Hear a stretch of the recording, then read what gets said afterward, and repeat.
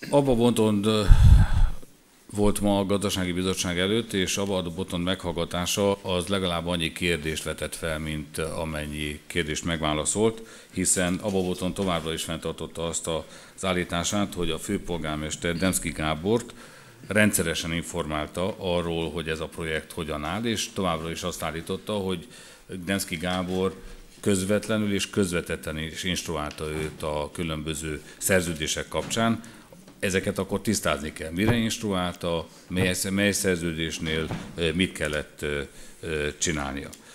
Hasonlóképpen rendkívül fontos, hogy a Babotond, tehát hogyha a tényeket nézzük, akkor a, a Ababotond vezérigazgató időszakában a kifogásolt szabálytalan szerződések összege az 141 milliárd forintnál több.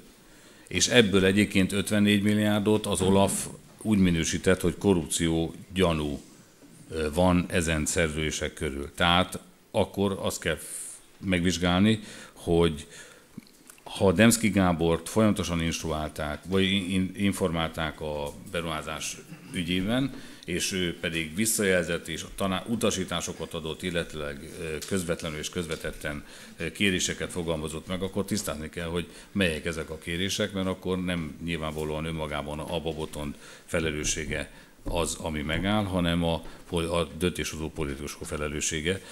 Szerintem ezek az összegek, a 141 milliárd és az 54 milliárd mindenképpen olyan példátlanul nagy összegek, hogy itt a gazdasági bizottság a vizsgálatát azt nem, hogy nem tudja lezárni, hanem újabb meghallgatásokat kell eszközölnie, illetőleg azt tisztázni, hogy akkor Demszki mire utasította a Bobotondot.